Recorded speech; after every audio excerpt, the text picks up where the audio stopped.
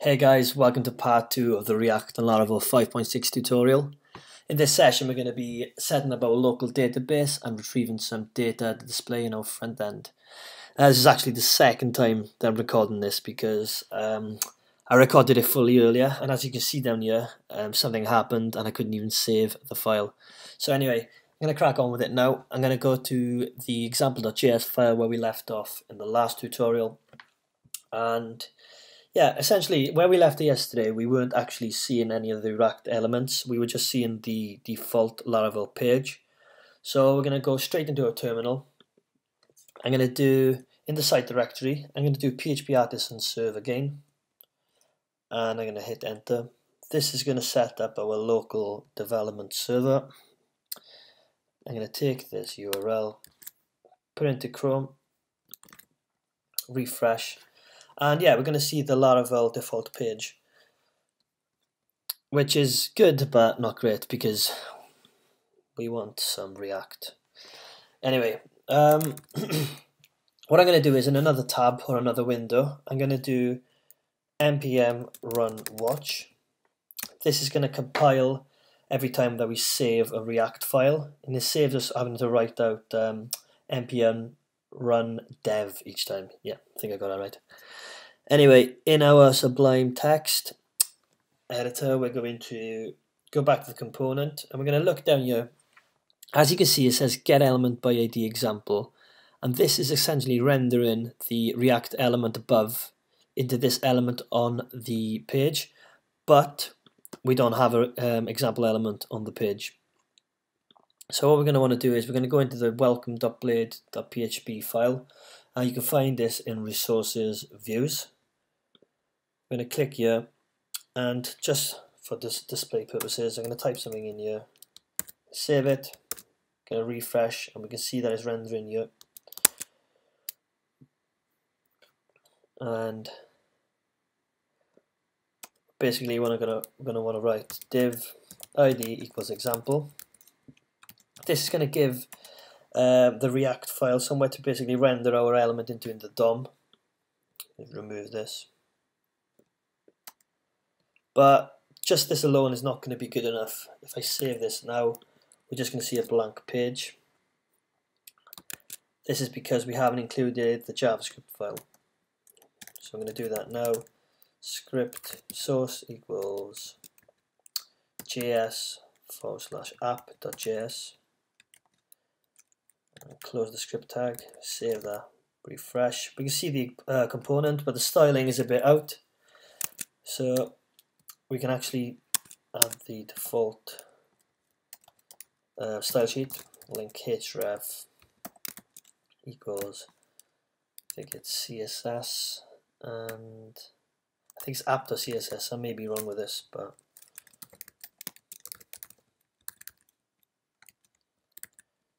Save that. Oops, no, I'm still wrong.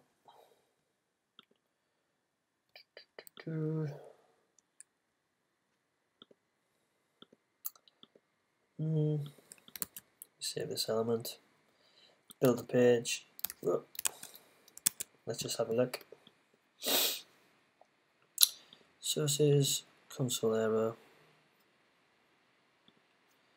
I don't think it's got anything to do with it. Just bear with me one second. And today is not my day. Um, ah, well, style sheet.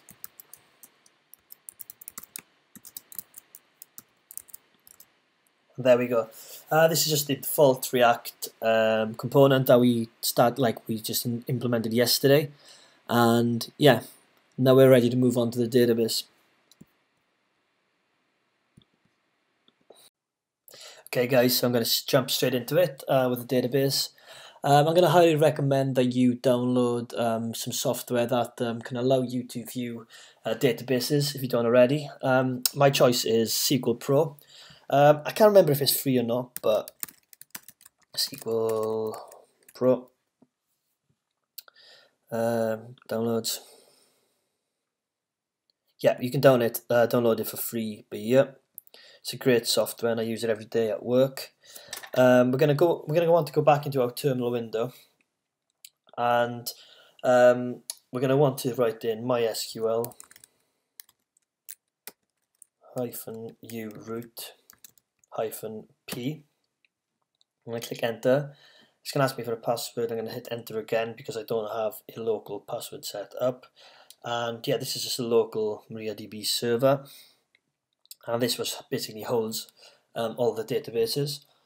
Um, we're going to want to create a database relevant to a project and I suggest that you name it something um, like similar. This project is called Tutorial React, so I'm going to name my database Tutorial React. Create database Tutorial React. Semicolon. Hit enter. And I think I'm going to click Use Tutorial React. And as you can see, we've changed into the database, which means that you know it's up and running correctly. But just to clarify one more step, I'm going to go into MySQL Pro. I'm going to click here. And whoop, don't think it's refreshed.